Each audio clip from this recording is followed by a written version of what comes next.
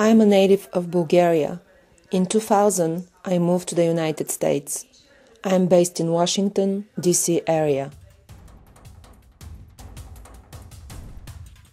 What I'm searching for in my projects are the reasons, the reasons which make us what we are in the present moment. The stories I show reflect themes from my past for which I did not have answers. I worked on different projects in Africa, Latin America, Europe, and USA.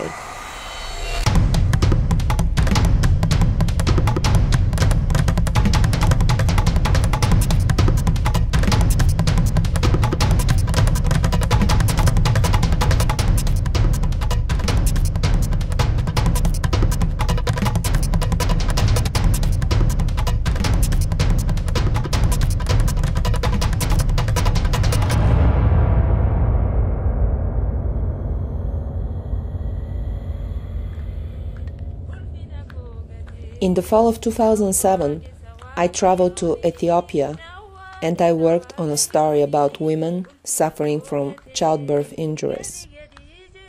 In the fall of 2008, I moved to Athens, Ohio as a graduate student in photojournalism at the School of Visual Communication. In the summer of 2009, I interned at the Associated Press based in the New York City bureau I cover different news events in the area.